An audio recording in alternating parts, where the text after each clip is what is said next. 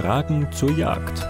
Darf man auf den Hochstand klettern? Jagdeinrichtungen, so wie der Hochstand, wo ich jetzt eben herinnen sitze, ja, das errichten wir Jägerinnen und Jäger und das ist somit auch unser Eigentum. Das heißt, die dürfen nicht betreten werden. Das ist genauso wie wenn man eine Hütte im Garten hat und da wird plötzlich wer drinnen sitzen, wird man es wahrscheinlich auch nicht unbedingt so gern haben. Und genauso ist es auch mit den Hochstände.